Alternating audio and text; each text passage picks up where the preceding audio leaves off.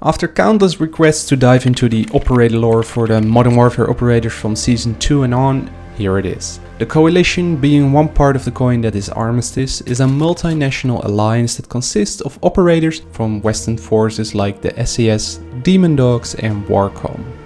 In total, including the MilSim operators, the Coalition contains 26 operators, However, since I already covered the base and season 1 operators, and I'm excluding the MilSim operators, I'm covering the operators that have been added from season 2 up until season 6.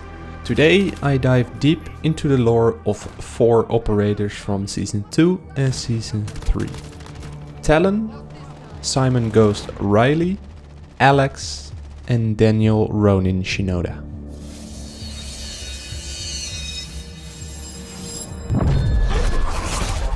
Talon, real name unknown, is one of the operators introduced in Season 2 and a Canadian Special Forces operator. He was raised by a blended First Nation family in Ontario, central Canada.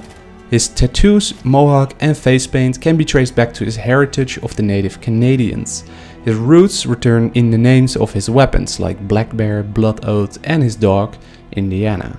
Talon was recommended to join Warcom, the global counterterrorism unit of the coalition, after serving with Sergeant Marcus Griggs in Urzikstan. He earned a commendation in a daring midnight raid of an Al-Qatala encampment. Similar to the other operators that have been introduced through the seasons, there isn't a secret operator file. However, in the fifth season, one of his operator missions rewards you with a Shadow Ops calling card, leading me to believe that after the events in Verdansk, he joined up with Shadow Company.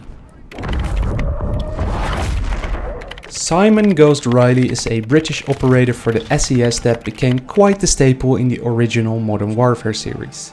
He lives with a redacted past and an undercover present, marked by a concealed appearance to hide his identity and maintain anonymity in the field. Born in Manchester, Simon Riley joined the Special Air Service and spent the majority of his career serving numerous short-term deployments and executing covert assignments in classified locations. He became an expert in clandestine tradecraft, focused on sabotage, ambushes and infiltrations into denied areas and hazardous environments. Ghost concealed his identity under a hallmark skull figured mask to maintain anonymity in the field. Although unknown when and how Ghosts at some point worked together in the same unit as Mace, an ex-United States Ranger turned gun for hire. After the destruction of Roman Barkov's chlorine gas factory and his respective death in Borjomi, Georgia, another powerful figure rose to take Barkov's place, the CEO of Zakhaev Arms and ultranationalist Viktor Zakhaev. Captain John Price met with Kate Laswell, the CIA station chief. Expecting an international conflict, Price asked for the operator files to create a task force, the 141.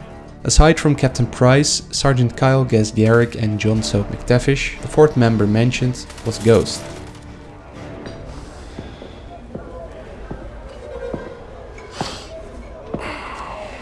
Tea? Yeah, well, I'm a long way from a proper pint. Russia disowned Barkov. Well, they didn't have much choice, did they? He's dead. You took a big bite out of that problem, John. For now. But left unchecked. It won't be. General Shepard pulled the files you asked for. What exactly is this about? A task force. Mm -mm. We already have loose ends. Then I will tie them. I can fund assets, not outlaws. Enjoy the tea, then. Zakhaev wants Barkov's throne. I almost buried him in Pripyat with Macmillan. That was the father. This is the son, Victor. Lovely family. They're big fans of Hadir's. Well, that would explain why he's still alive. They're gonna get him out. They give me what I need.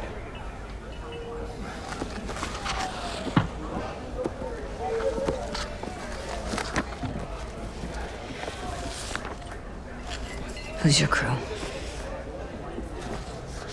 Sergeant Garrick. Kyle? They call him Gaz. He never said anything. John McTavish, SAS, sniper, demolitions, goes by SOAP. Why? It's classified. there he is. Simon Riley. There's no picture. Never. Not rest. That's neat to know. Unless we got a deal. What are you calling this task force? One for one. As time passed, Zakhaev freed Al-Asad from his imprisonment who took up the mantle of Omar the Wolf Sulaman and founded Al-Qatala al-Jadid, or the New Killers. With Zakhaev's armaments and Al-Asad's manpower, the pair forged an alliance and launched a full-scale assault against the capital of Kastovia, Verdansk. After the collaboration of coalition and allegiance called Armistice or Arm 4 put a stop to Al-Asad and Zakhaev's plans, Al-Asad showed off his true plan as he pulled out his troops and deployed massive chlorine gas clouds that would slowly close in on Verdansk. After being teased with his appearance showing on the Tanto building in Piccadilly Circus, London, and the television screens across the multiplayer maps, Ghost was introduced in Season 2. Similar to the other ARM 4 operators, he was deployed in Verdansk and found a coalition operator shot by one of their own. In order to investigate this new development, he needed trustworthy operators.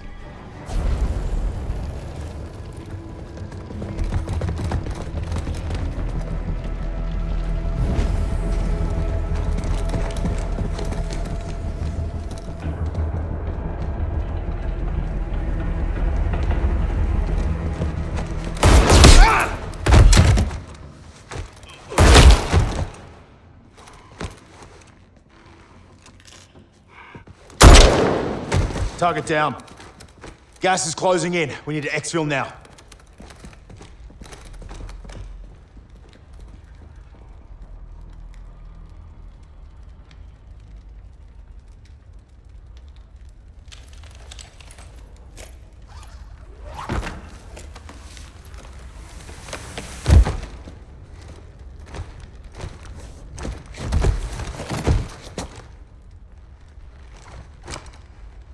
Price.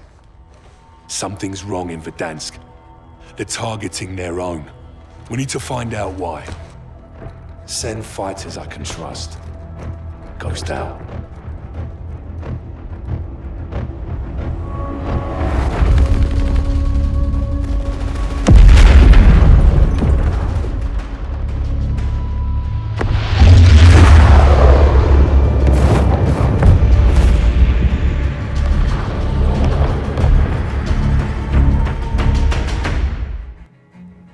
Ghost, with assistance from us through the Ghost Season 4 Fractured Intel missions in Warzone, gathered intel relating to the airport detected occurred during Al-Qatala's invasion of Verdansk. Investigating the first piece of intel at the BCH4 TV station, it shows a text log issuing a state of emergency advising citizens of Verdansk to leave the city and meet an armed escort at gate B23. Upon searching gate B23 at the airport, another piece of intel shows communications went dark in the air traffic control tower. Following intel suggests loss of contact with the plane over Arklov Peak. Upon reaching the mountain, it appears the plane, with all its passengers aboard, crashed into the mountainside.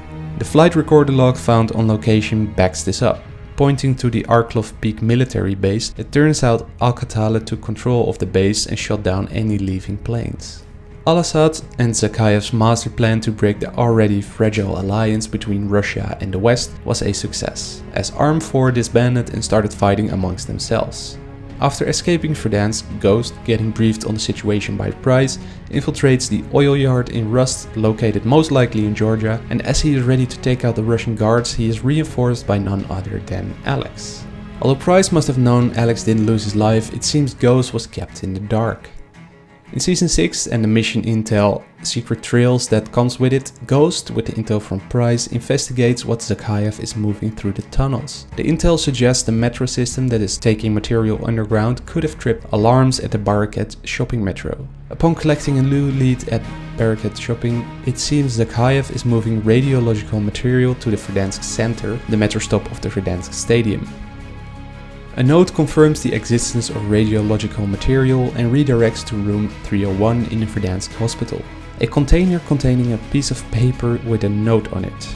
The code, when applied to the map, refers to H6 on the Verdansk map or Krovnik farmland.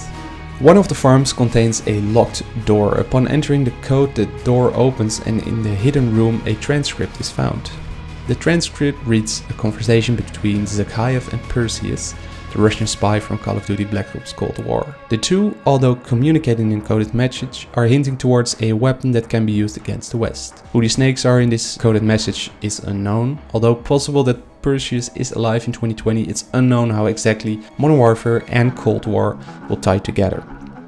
The key contained in the transcript is able to be used for one of the deposit boxes in the Bank of Verdansk, which holds a photo of a weaponized nuclear bomb in Bunker 11. Something big is about to happen, but details surrounding the story of Warzone and Cold War are for another video. And that's where Ghost's story ends.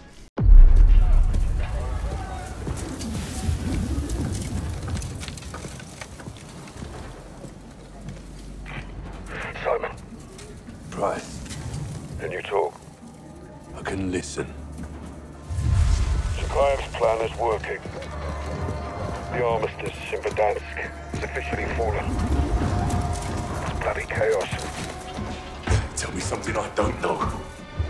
I got a fire team. Operators inbound hot to your position. They better be good.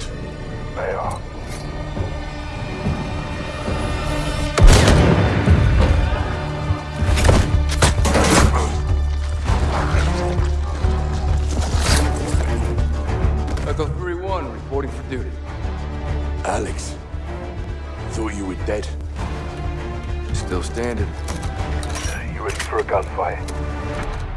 Get evil.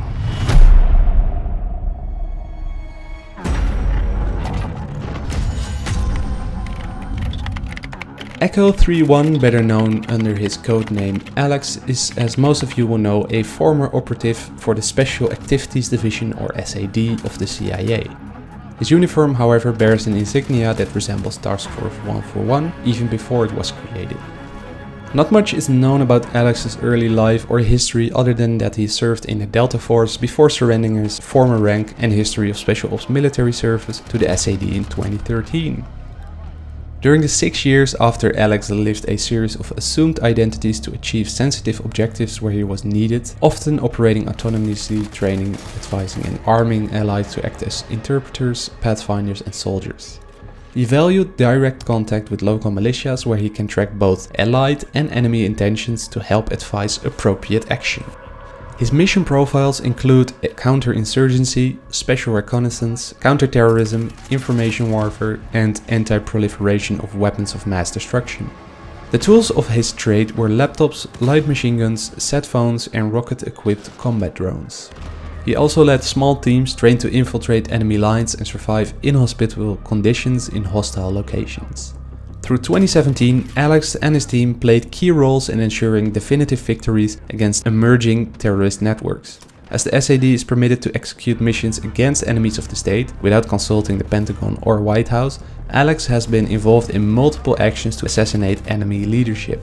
Starting October 24, 2019, Alex would start his involvement in the war on terror against Al-Qatala and Barkov. On November 3, 2019, alongside the Urzikstani Liberation Force or ULF, Farah, Price and Garrick, he would assault Barkov's factory and destroy its furnace from the inside. However, as the detonator was destroyed, there was no other option than sacrificing himself by rigging the furnace from the inside. After Farah killed Barkov, she gave the go-ahead sign and Alex detonated the charges and blew up the entire facility, seemingly killing him in the process. Although unknown how Alex managed to survive the explosion, he did not walk away unscathed.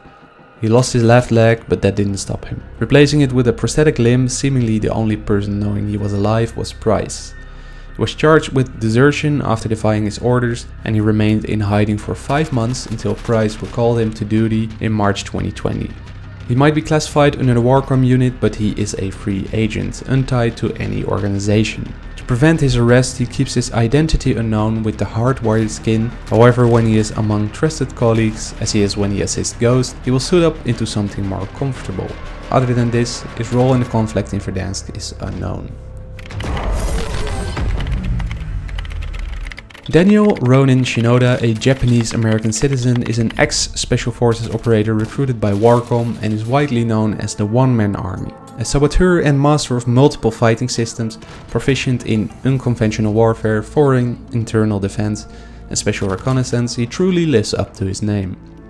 Although he is an American operator, his name, Ronin or Wandering Samurai with no lord or master, as well as his Irezumi or Japanese tattoos, refer to his heritage of feudal Japan. Thank you guys very much for watching. The creation of these videos is very time consuming, from writing the script to designing the motion graphics. If you like these type of videos and want to support me in continuing creating, there are several things you can do. Liking or disliking, depending on what you thought of the video, other than views, this shows me how much you like the content I put out. Subscribing reinforces your support and shows me you want more videos. Leaving interactive comments or feedback reminds me how I'm not just doing it for myself, it shows how I can improve. And the last way to support me is to join the channel and become a member for 1, 5 or $10 a month. In return you will unlock exclusive rewards such as digital lore items and exclusive posts or perhaps unique ideas you can implement. The more support I gain, the more time and energy I can invest in YouTube and in turn this will result in more frequent uploads and a higher quality content. Whatever you decide to do, I'll be here because I like what I do. Thanks again for watching, peace out.